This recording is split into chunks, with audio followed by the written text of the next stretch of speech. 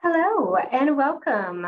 Good evening, everyone. You are live with the New Mexico Department of Transportation. Hello, welcome. I see so many of you joining. You are live with the New Mexico Department of Transportation. We are excited to have you here this evening. Hello. My name is Jennifer Heyer, Environmental Planner with WSP, and I will be facilitating this virtual meeting on behalf of the New Mexico Department of Transportation. Thank you for taking your time out of your Tuesday evening to join us tonight for this virtual public information meeting hosted by the NMDOT. We're excited to share information with you about the New Mexico 31-128 roadway project. Keep in mind that if you are calling in and watching online at the same time, please mute the audio on your computer to avoid any echo or disruption. It just improves the user experience. If you don't have immediate access to internet, continue to remain on the call line to hear our presentation. Now, I'd like to just take a quick second to go over some housekeeping items. Only our presenters will appear on video tonight. The meeting is being recorded and will be posted to the NMDOT project website following the event this evening. That website is nm31 128 project.nmdotprojects.org. Community members are encouraged to participate live at the end of tonight's presentation during the Q&A portion of our event. As we move through our presentation, as I mentioned, we will get at the end to a Q&A portion for you to interact, and there are a couple ways for you to be able to participate live. If you are joining us tonight using Zoom, you have two options. You can select the raise your hand function under the reaction icon to ask a question live. Another way to interact with us is to type your question in the Q&A chat box at the bottom of your screen. If you are joining us only by telephone, you can still participate by dialing star nine on your telephone keypad, and we will answer your questions at the end. We have a lot of information to share with you this evening, and you may want to get a piece of paper and pen to write down the information about the project and how to participate. If you don't have immediate access, you can continue to stay on the call line to hear our presentation. You can also request a hard copy of our presentation from me by contacting me through email or phone. My email is J-E-N-N-I-F-E-R hyre at wsp.com or my phone number, 505 area code 878-6577. Now, I'd like to take just a second to recognize the elected officials that we have in our virtual audience tonight. Tonight, we have Bruce Ellis, NMDOT Commissioner for District 2. We have Cathrynn Brown, House Representative for Eddy County. We have Pat Sims, Lea County Commissioner for District 5. We have Sarah Cordova from Eddy County Commissioner, District 5. Ernie Carlson, Eddy County Commissioner. We have Jordan Yutzi, representing on behalf of Eunice Mayor Billy Hobbs. And we also have Stephen Aldridge, City of Jal Mayor. Thank you for joining us this evening. We really do appreciate it. Again, on behalf of NMDOT, welcome to our event. My name is Jennifer Heyer, WSP Environmental Planner, and I will be facilitating your meeting. Next, I'd like to hand it over to Michael Smelker, who will introduce our team members who will be participating this evening. Michael?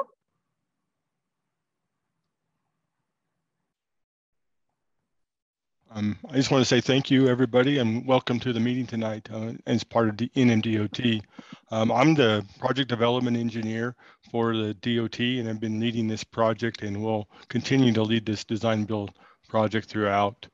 Um, so today uh, we have uh, Francisco Sanchez, the New Mexico DOT District 2 District Engineer. Um, I'll go ahead and um, let Mr. Sanchez go ahead and give a few words real quick. Good evening, everyone, and, and welcome to the first New Mexico 31 128 alignment study and Des design build public meeting. I am your New Mexico Department of Transportation District 2 engineer, Francisco Sanchez. Um, you know, New Mexico 31 128 is heavily tied to some extremely important industries that not only have a positive impact on southeastern New Mexico, but the whole state and across the nation. NMDOT and WSP have teamed up to address congestion, roadway deficiency, increased capacity, and most importantly, safety concerns along both, both corridors. We, we all are here tonight because number one, we care. You know, we all have coworkers, peers, family members that drive these highways every day. We want to see action improvements on these important corridors.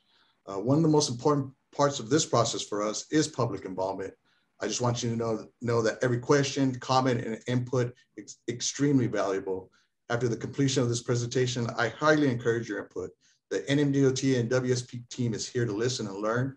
Your knowledge of this corridor is extremely valuable. I just want to know your voice will be heard and is important to us. Please feel free to share your comments. The more input we receive, the better we can address your concerns and ultimately construct a successful project. Thank you again for sharing your evening with us. I look forward to the presentation and your participation. Thank you. Thank you, uh, Francisco. I'll go ahead and introduce the rest of our team. Um, we have Terry Ward. He's the project manager for WSP. He'll be facilitating the rest of the meeting and giving this presentation. Again, um, before I turn it over to Terry, I want to just stress all of your comments and stuff, please let us know at the end or as we continue with this project and, and the process. We're really excited for this design build project. It's going to be a fun, exciting project in this area. So Terry, um, I'll go ahead and turn it over to you and Jennifer again and uh, let you guys go ahead and present. Thank you, Michael. Next, I'd like to just walk you through the agenda that we're gonna have and talk about this evening. Tonight, we're going to give you a little bit about the project background and purpose and need for the project. We're gonna talk about the existing conditions and provide you with some project context, talk about the NMDOT project development process, the preliminary alternatives, the comparative analysis and key findings, talk about the design build procurement, specifically the phase one and the project phasing. Then we're gonna go into talking about schedule and next steps. And finally, we will close out with a question and answer session. As a reminder, we will take your questions at the end of our presentation during that Q&A session. That will be about an hour from now. Before we get into our presentation though, I just want to point out and let you know that there are approximately 11 active projects in various stages of construction or development occurring in Eddy and Lea counties right now. Some of those are NMDOT led, while others are city or county led. The purpose and intent of our meeting tonight is to provide you with information about the NMDOT's New Mexico 31128 project, and we really appreciate you being here with us tonight. Next, I'm going to talk a little bit about the background of, of the project along 31 and 128, and then talk about the project purpose and need. New Mexico 31 is a rural two-lane north-south running roadway connecting US 285 to US 62 just east of Carlsbad.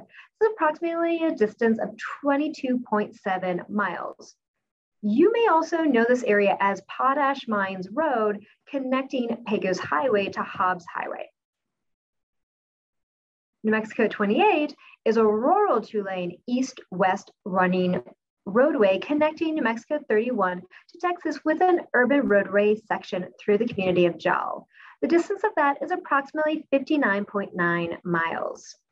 You may know this area of New Mexico 20, of 128 as Jal Highway and the portion through Jal community as Kansas Avenue. Both roadways pass through largely unpopulated semi-arid lands of southeastern New Mexico, but both roadway segments are part of a major transportation network for local oil and gas production and extraction operations in the Permian Basin of Eddy and Lea counties. Both roadways are classified as major collectors, which means they help connect people in urban areas with populations over 5,000 people between areas of importance such as schools and employment centers. If you look at the map, you'll notice the New Mexico 31 portion of the project extends from the intersection with US 62 to the intersection of US 285 in Lovington. The New Mexico 128 portion of the project begins at the intersection of 31 and extends through Jal to the New Mexico-Texas state line. A big important focus of the study project has been our concerted effort to engage with stakeholders and reach out to them. The project area covers a lot of road miles, and we are ensuring that all affected stakeholders are brought to the table to talk about their project concerns and needs. We really feel that we've spoken to all of them. To name a few, we've been working with our local government partners such as Eddy and Lea County, we've been working with those land managing agencies in the area, such as the Bureau of Land Management, we've been working with our industry partners, such as United Salt Corporation and Intrepid Potash. We've also been working with those industry groups, such as the New Mexico Oil and Gas Association, and working with our out-of-state partners, such as TxDOT. If you think we've missed your organization, please reach out to us. We want to talk to you and want to engage with you. So please reach out to us if you have not heard from us or think we haven't talked with you enough. This presentation and additional project information is available on the NMDOT's website for this project, which is nm31-128 project.nmdotprojects.org. This recording will be there and additional information can be found as well. The purpose of the project is to improve New Mexico 31 and 128 to mitigate problems with highway safety, highway capacity and congestion, the condition of the roadway, and related infrastructure. First and foremost, the project is needed to address safety. Um, uh, on New Mexico 31 and 28, for the six year period between 2014 and 2019, there were 722 crashes. 28% of all of those crashes resulted in fatalities and injuries, and 27 of those crashes were fatal. Primarily, the type of crash types included rear end, head on, overturning vehicles, and right angle crashes. The projects also needed to address capacity and roadway condition. Features of the existing highway and traffic flow contribute to safety and operational problems. These include lack of left turn lanes at intersections, operational problems at railroad crossings, high percentages of trucks, as well as vehicle platooning, the roadway geometry and cross section, and the pavement condition. Next, I'd like to turn the virtual microphone over to Terry Ward, WSP project manager, to discuss, to discuss the project and context and existing conditions. Terry? Thanks, Jennifer. I'd like to start with uh, talking about traffic and doing a little deeper dive. Jennifer gave you a little bit of an overview, but on 31, from 2014 to 2019, so those six years, there was approximately 169 recorded crashes, including three fatals. Interestingly, the New Mexico 31 128 intersection has a crash rate four and a half times higher than the adjacent highway segments. Here's some what we call heat maps to give you a feel for the density of crashes on 31. And what we think is interesting about this heat map is that it shows from zero to eight, or basically from 285 to 128, there's a higher concentration of crashes um, as comparatively from New Mexico 128 to US 62. And this will help understand our prioritization as we get later into our presentation. But you can see low, up to high in terms of the density of crashes. this one talks about crash severity. so the, the legend is green, property damage only, um, yellow being or goldenrod being injury and red being fatals throughout the corridors. And again, it paints the same picture of um, New Mexico 31 from 285 to 128 having um, higher density and severities of crashes. Let's switch to 128 then. From that same six-year time period, approximately 553 recorded crashes, including 24 um, fatal accidents along 128.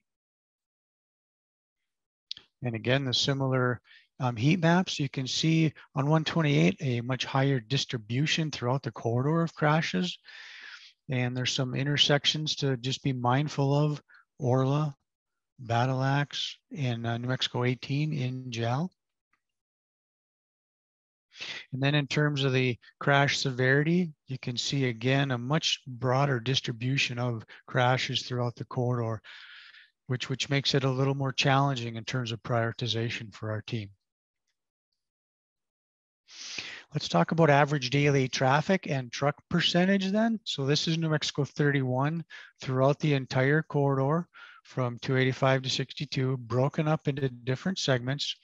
What's, what's interesting here to us is on, on New Mexico 31, after you get through 128, the traffic does reduce significantly as you look through the table here.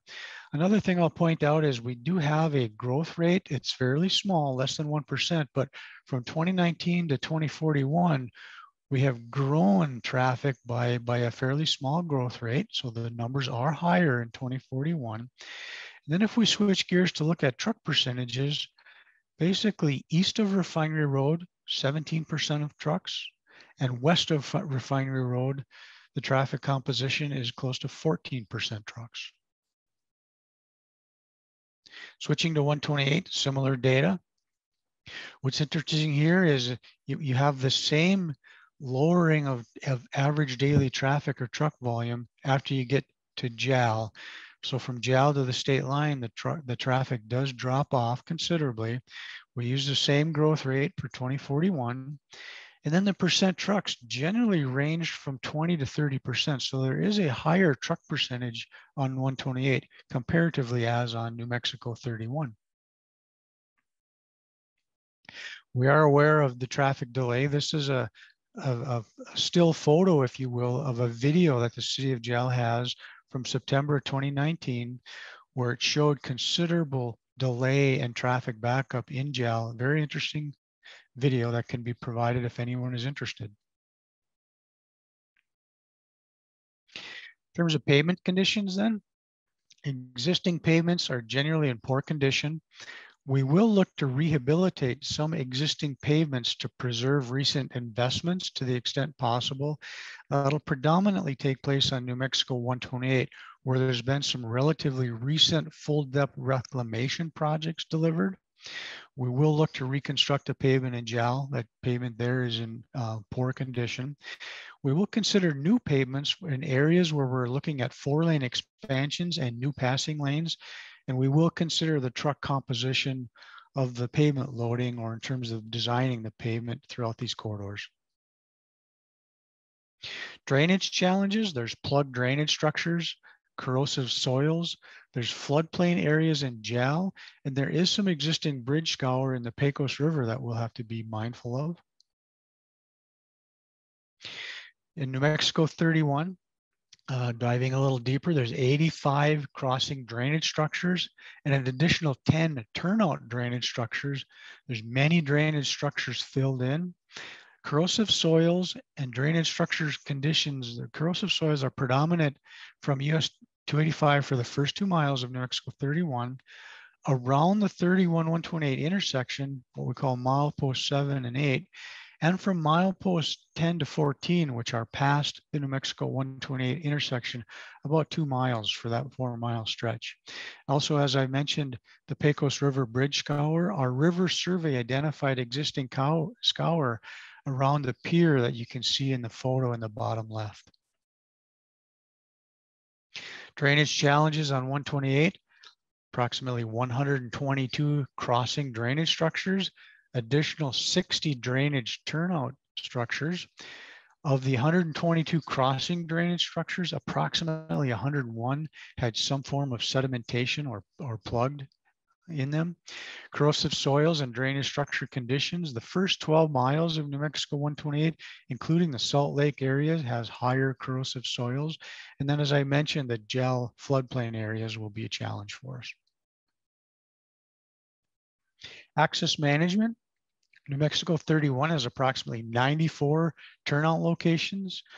New Mexico 128 has approximately 308 turnout locations, plus an additional 30 turnouts to a frontage road that exists. We will potentially remove, or I will say likely remove the New Mexico 128 frontage road as part of the improvements. And we also are developing what I'll call priority access management improvements in both corridors that will roll out as part of our study effort. In terms of utilities, There's approximately 109 utility companies in these corridors, and you can see the distribution on the slide. There's also frac lines or lay flat lines, and we were fortunate to be able to turn an ownership of all of those. We have and will be expending considerable effort for successful delivery of this project to minimize the potential of utility delays once construction work starts. In terms of oil and gas activity, we are studying a 20 mile corridor on both sides of New Mexico 31 and 128, doing a five and 10 year projected activity of oil and gas activity, and then subsequently taking that to inform our, our roadway improvements and our intersection improvements to best position these corridors for not only projected traffic, but projected oil and gas activity as far as we're able to project that to that five and 10 year time frame. Next, Jennifer, I'll, I'll turn it over to you to talk environmental. Thank you, Terry. As part of this study phase, we are also investigating the existing environmental conditions along the project corridor to identify those that may constrain the possible alternatives or be impacted by the proposed improvements. Specifically along New Mexico 31 and New Mexico 128, there is no potential for karst and underground geologic hazards. This is a natural process caused by drained water slowly dissolving bedrock of underground voids that become larger and can potentially collapse. This condition poses challenges to the engineering design as well as constructability and contractor safety. We have field investigations and mitigation strategies under development to help address this condition. Additionally, there are also known archaeological resources within proximity to the project, and we are completing field investigations during the study phase to identify any significant impacts or mitigation needs as the project advances. As I mentioned earlier, we've been focusing on being responsive to the area's stakeholders and affected agencies. But it is rather challenging in this, in this area. One of the key challenges is that New Mexico 31-128 corridor is a larger rural corridor, which makes reaching users um, difficult. Um, to, to help that, we've used some of the dynamic uh, message boards posted in the right-of-way for our public meeting today. Um, we've also used, because there's also then the combined urban section in JAL, which poses a different type of environment, that we're having a separate public meeting in two weeks on September 14th to specifically discuss the concerns and preliminary urban solutions in the JAL corridor. There's also then one of the challenges of reaching out to the oil and gas extractive industry companies. Many of those are locally, but others are centralized in larger city centers such as Denver, Houston, Midland, Oklahoma City, to name a few. And with that, to help us be able to reach and hear from those affected stakeholders, we've been working with organizations such as the New Mexico Oil and Gas Association. However, if you think that we have missed your organization, missed your business, please reach out to us. We want to make sure that we are communicating with you and being able to discuss your concerns. Next, I'm going to talk a little bit about the process the NMDOT follows in developing projects and making decisions. Currently, we're in the early stages of the project, the study phase. For the New Mexico Department of Transportation, this is called the Phase 1AB. During Phase 1AB, we identify what improvements are needed and why, we review the existing conditions, and determine what potential options are available to improve the roadway. As the study progresses, we evaluate the options that may be feasible to carry through to design and eventual construction. We will continue to advance the study after this meeting and your input is key to helping us come up with one preferred option that we advance into environmental processing and preliminary engineering design. We will answer your questions at the end of our presentation, which will be in approximately 30 minutes from now. As part of the study phase, the New Mexico Department of Transportation considers a wide range of factors in their thinking. Some of those, some of those factors include right-of-way needs, environmental resources, traffic safety, construction feasibility, community concerns, and engineering limitations, available funding, to name a few. looking at a range of factors allows the NMDOT to develop a solution that is balanced and meets the project purpose and need. With that, I'd like to hand it back to Terry to talk about some of the preliminary alternatives. Thanks again, Jennifer. So to get started, I'll recap the key challenges that we use to develop proposed alternatives, traffic and safety, safely maintaining traffic and access during construction, karst, the Salt Lake areas, environmental stewardship, funding, utility facilities above ground and underground, and stakeholder engagement. So in terms of traffic and safety improvements, we reviewed the corridors and considered expansion to four lanes, considered adding passing lanes, reviewed the intersections in terms of enhancing safety and capacity, and we considered adding signals at 3rd Street and New Mexico 18 in JAL. Some of the research that we that we utilized, and again, this is just some of it, we took some information from the Texas Transportation Institute in terms of roadway development in the Permian Basin and read through that and studied it for applicability to these corridors. We looked at the Georgia DOT, some, some efforts that they did on rural four lane undivided and, and um, four lane roadways with, with left turns. We looked at some FHWA restricted crossing U-turn informational guides. And we use the Missouri DOT in, in terms of passing lane benefits and design location. So again, this is some of the research that we looked at to give you a feel for, for how far we, we looked out in terms of these improving, improving these corridors. Proposed mainline alternatives. I'd like to start with a little bit of an educational uh, slide here. What is a typical section? A typical section is a graphical representation of the proposed work as if you were standing at a location looking down the roadway. And I'm going to show you some typical sections. So I wanted to give you a feel for what we're actually talking about. Here's one, what we're calling the New Mexico 31 existing or no build alternative. So what's existing out there in terms of today is two 12 foot driving lanes and variable width five to eight foot shoulders, basically centered on the right of way. And again, this is New Mexico 31. Typical section then, the no build existing for New Mexico 128, 12 foot driving lanes, eight foot shoulders, and it's really offset for all practical purposes within the right of way from 31 up to JAL, meaning, meaning it's not centered on the right of way. Here's a depressed median alternative then that we looked at for the corridors. So you can see the, the median in the middle is depressed. We're showing a 60 foot dimension from edge of driving lane to edge of driving lane. That median width could be reduced in constrained areas. We're showing two 12 foot driving lanes in each direction, a 10 foot outside shoulder and a six foot inside shoulder. Um, again, um, the, it's really centered, trying to center it on the right of way, but we do have some variability in terms of the center line of the roadway comparatively to the right of way.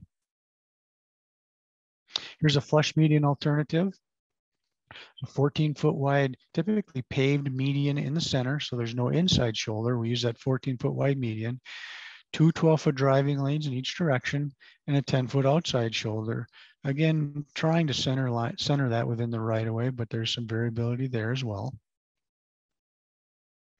And here's a typical section in the city of JAL, a three lane alternative with a center left turn lane, um, a dual direction or two way left turn lane, 13 foot driving lanes, six foot shoulders, a curb and gutter, and then a sidewalk. We call this a two way left turn lane or a twiddle uh, alternative. We did look at four lane and five lane, and I'll share a little bit more about that later. Here's a Super 2 highway where we're passing lanes are provided um, in a opposite, opposite side. So you go through the corridor, provide them in one direction, switch to the opposite side and go back and forth. I'll call it a leapfrog type approach with, with uh, passing lanes alternatively throughout basically the entire corridor. And a version of this that can be looked at is called an enhanced two lane, where there's periodic passing lanes, not so much the continuous approach to Super 2, but more of a periodic passing lane solution. So Super 2, continuous passing lanes, alternating locations, enhanced two lane, periodic passing lanes. So some proposed mainline alternatives. Um, this meeting tonight, we're sharing corridor wide solutions with some intersection alternatives. We'll provide, I'll call it site specific solutions or intersection recommendations in a future meeting. But if we start on mainline on 31 from US 285 to 128 and from 128 from 31 to JAL, depressed four median four lane alternative was looked at, flush median slash raised median four lane alternative was looked at, super two and enhanced two lane. The city of Jal, we look we're we have a three lane with a twiddle or two way left turn lane alternative. We did look at four lane and five lane alternatives with city of Jal leadership. Those were deemed to be too impactful, and I'll share a little bit more with, with you later on that. New Mexico 31 from 128 to 62 and 128 from Jal to Texas. The lesser traffic areas, we looked at four lane, looked at super two, and looked at enhanced two lane. And again, we will consider the no build alternative or the existing conditions, leaving them as is as part of this study effort. Signalization then for the intersections. Um, again, intersections, we looked at signalizations, roundabouts, what we call the high T and R cuts. We'll show you a little bit more about what those are. In terms of the Mexico 31 128 intersection, we looked at add grade and grade separated, and we'll share some of those concepts with you as well. Okay, so some intersection alternatives. Here's signalization. Roundabouts or traffic circles, as they're called as well, were considered or will be considered a high T. If you look at this intersection, it's a T intersection and the traffic on the very right of, of the screen has a through lane. They do have a left turn lane, but they have a through lane with a concrete median separating them from traffic wishing to turn left. And then the actual merge point is pushed further downstream, if you will, from the roadway. So it removes those, those movements or those merging movements from the actual intersection location in a high T. Or R-cut or restricted crossing U-turn. We, we use some information from the Federal Highway Administration. And here's a depiction of some of the movements. So traffic on the, the side street approaching has to take a right turn, then make a U-turn to cross, or to continue down in the opposite direction. So side traffic cannot make a left turn as they want to gain access either straight across or in the opposing direct, direction of traffic. They're also called a J-turn. So let's switching gears to the Mexico 31 128 intersection. Here's an at-grade crossing concept. We, we've made New Mexico 31 and 128 the through high speed movement and brought New Mexico 31 into a T intersection with that new through movement. And then there's the at grade crossing of the railroad tracks. This example, we've we've kept New Mexico 31 as the through movement. We brought New Mexico 128 over to a new um, roundabout or traffic circle. So realign 128 and brought New Mexico 128 over to a new traffic circle, giving us some additional distance from the railroad track crossing. Here's a, a similar concept to the previous one where we showed realigning um, New Mexico 31 to a T intersection, keeping 31 and 128 as the predominant through movement, but using a grade separation or a bridge crossing the BNSF tracks with an R-cut intersection. So some of the improvements, there's five railroad crossings in the corridors, uh, pavements and geotech we'll look, have to look at very closely, the karst mitigations Jennifer talked about, and then the Pecos River Bridge, uh, we'll look at rehabilitating the existing bridge and potentially a new bridge if we four lane that section. Terms of some proposed improvements in the, the, the, land ownership, property surrounding the project is a combination of Bureau of Land Management or BLM lands, state land office or SLO lands, and private. We're developing an enhanced conceptual engineering design or a 30% design that will be, depict the anticipated construction limits and right-of-way. And right-of-way acquisition and environmental permitting will be based on this enhanced conceptual engineering design that we're working on currently. Maintenance of traffic during construction will strive to keep New Mexico 31 and 128, including all access points open during construction. Will coordinate closely with stakeholders. The contractor will be expected to provide look-ahead schedules and anticipated traffic impacts, and tra but traffic delays are likely during the construction phase. Let's switch gears now and talk about some comparative analysis and key findings.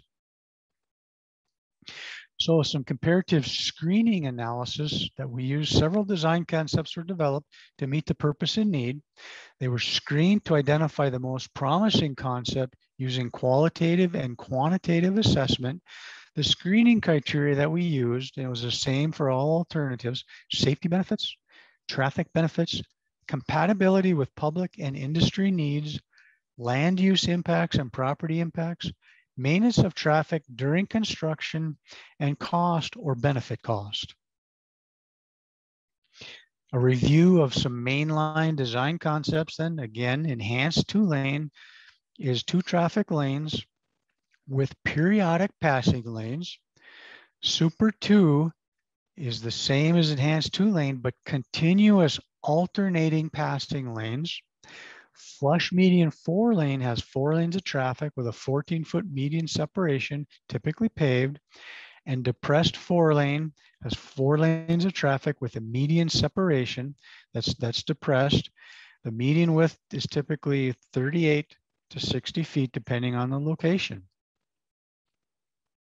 So here's our first screening effort, mainline higher traffic corridors so this is New Mexico 31 from US 285 to New Mexico 128 and New Mexico 128 from 31 to Jal. Again, those higher traffic volume corridors.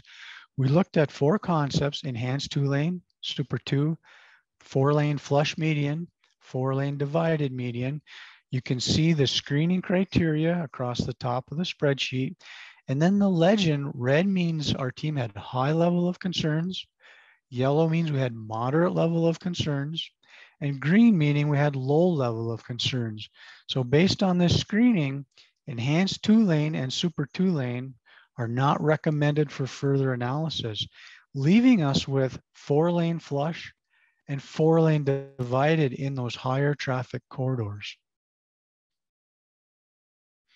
Lesser traffic corridors then, the second screening on 31 from 128 to 62 and on 128 from Jal to the Texas New Mexico state line, we looked at enhanced two lane, super two, and four lane. Again, the same screening criteria. And from this effort, we're not recommending four lane for further analysis based on the overall life cycle cost that it would bring forth. Next screening was rural, major rural intersections.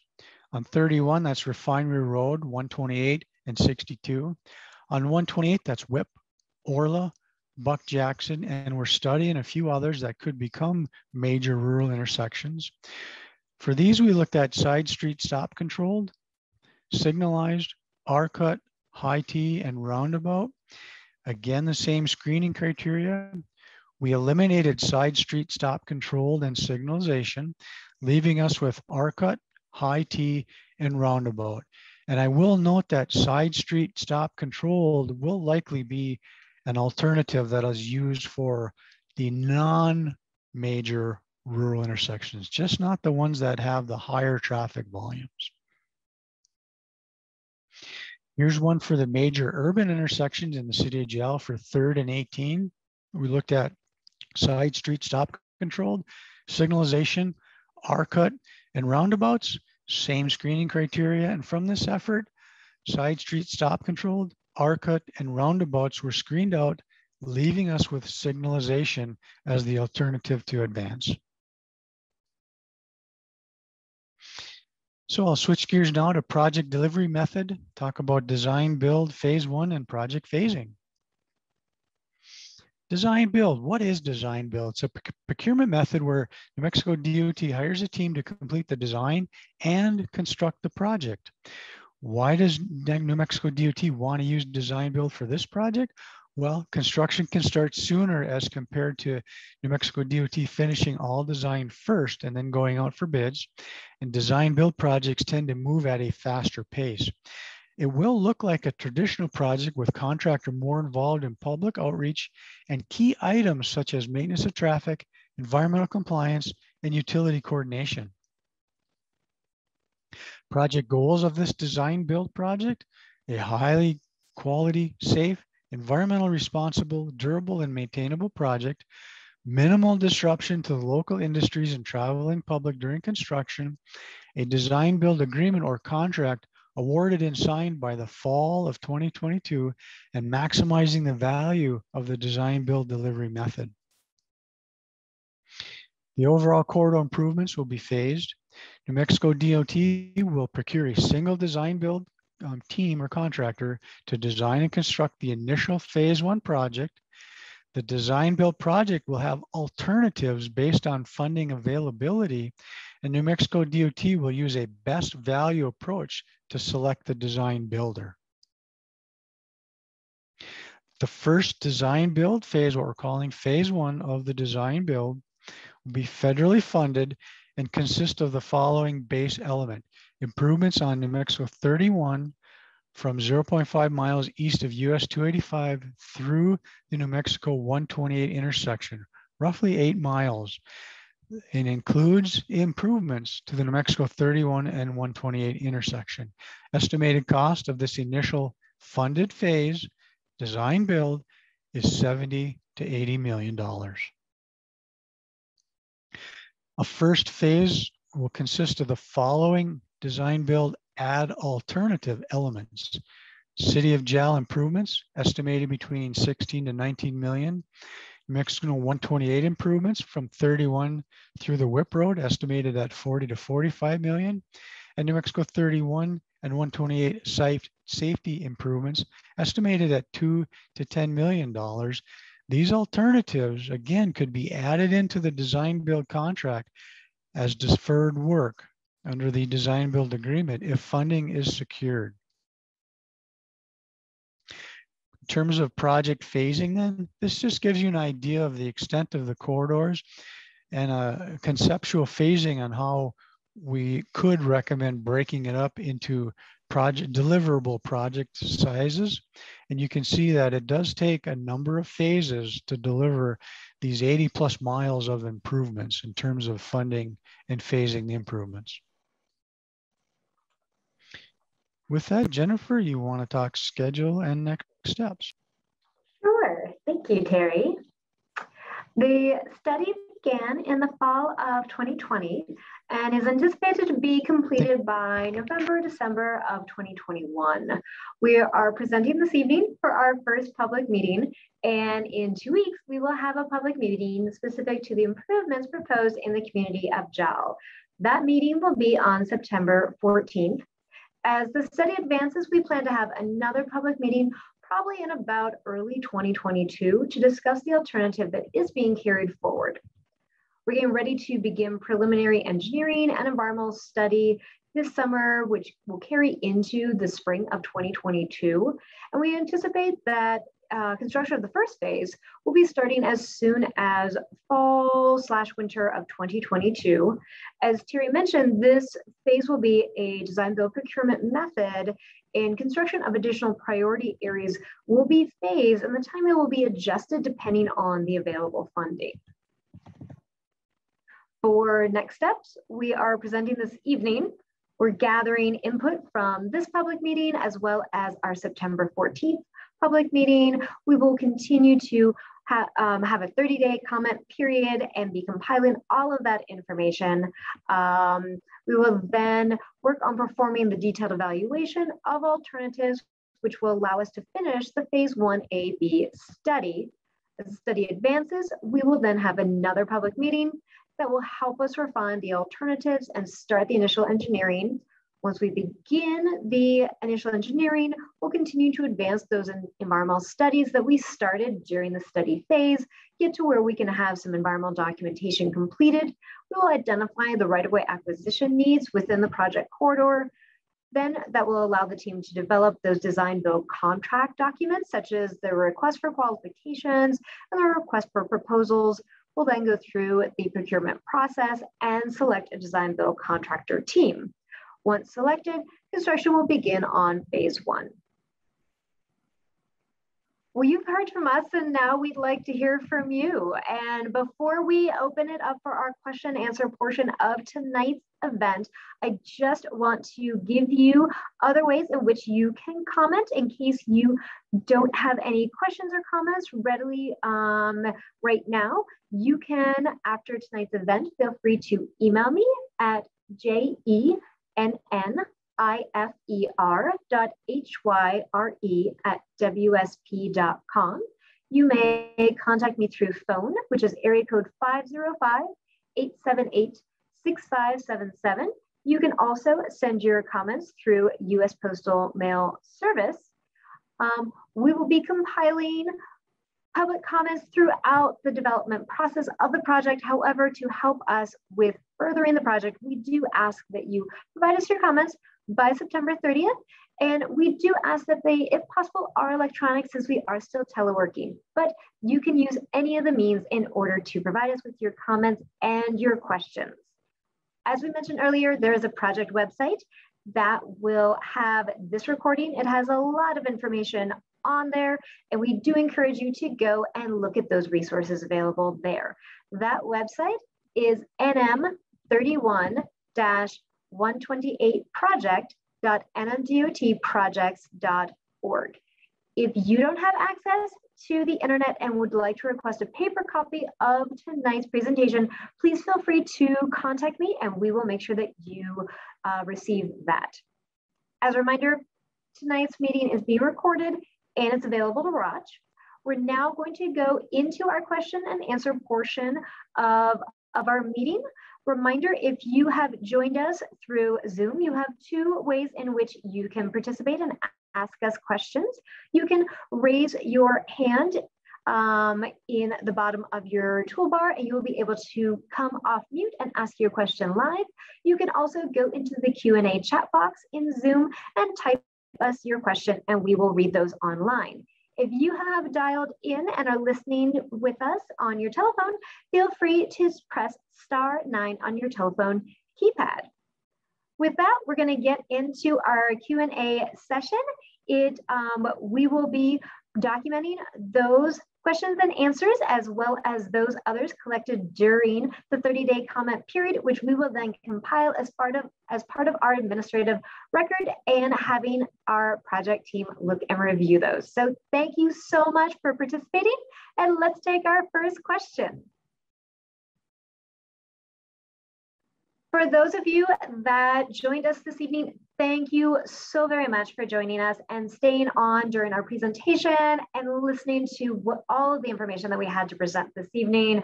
We wish we could have been with you in person, but are glad to be able to offer a safe way to get you informed and be able to receive your feedback. And this will not be the last opportunity for you to be providing us with your input. We encourage you to sign up for our mailing list be part of the process and provide us with your comments and your questions. I hope you have a good evening and good night.